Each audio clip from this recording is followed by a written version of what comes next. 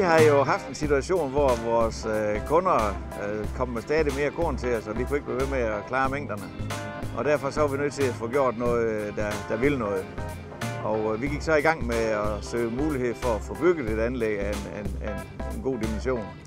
Og øh, udover at øh, vi har den ene silo, der er sat op nu, så er der i lokalplanen også plads til to mere, så der er virkelig fremtidssikret. Og det var det, der fik os til at sige, at så kan vi også sætte et ordentligt tørri. Og det tørreri, vi har fået her fra Dankorn, det klarer jo 130-150 tons korn i timen. Og vi har kunnet se på de store høste at, øh, at der er ikke nogen stakker, der kommer til at ligge på jorden. Korn forsvinder bare ind i siloen øjeblikket. Så det er vi rigtig tilfredse med, som det kommer til at gå. Vi synes selv, vi har fået et anlæg, som har levet op til vores forventninger.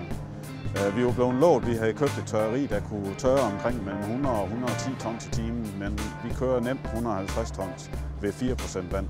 Ja, hvorfor valgte vi Dankorn? Vi valgte Dankorn, øh, fordi vi har et samarbejde med Dankorn. Øh, vi har en afdeling i, Bostrup, hvor vi har sat fire øh, Dankorn silo op. Godt nok er de to og to af samme størrelse som den ene her, så det er en vis forskel på størrelse. Men der står fire der, og det synes vi, det har et rigtig godt forløb. Vi har ja, et godt samarbejde. Vi udfordrer dem selvfølgelig lidt på prisen, det skal man jo gøre. Men øh, vi har fundet i mål begge gange. For vores vedkommende er det Michael Thomsen, der er vores kontaktperson, og han forstår virkelig at sætte sig ind i, i opgaven og, og hjælpe os igennem således vi får konstrueret med de rigtige kapaciteter. Vi har været øh, meget ind omkring øh, styringen. Øh, Dankorn har nogle platform, men det har været kundetilpasset, altså sådan, at det kommer til at ligne de styringer, som vi i forvejen har i anlæg, og brugerfladen bliver passet ind over hinanden.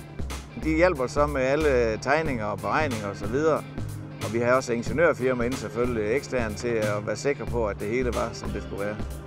Og så selvfølgelig kontakt med kommunen, øh, således at, at alt var på plads.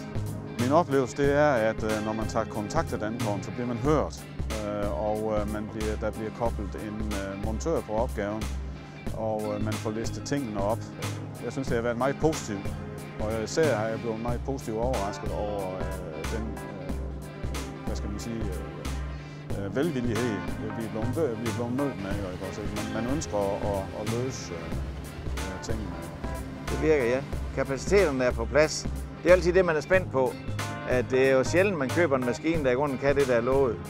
Men øh, det kan vi faktisk her. Altså, vi har regnet med en 120-25 tons øh, i timen, og det klarer den meget.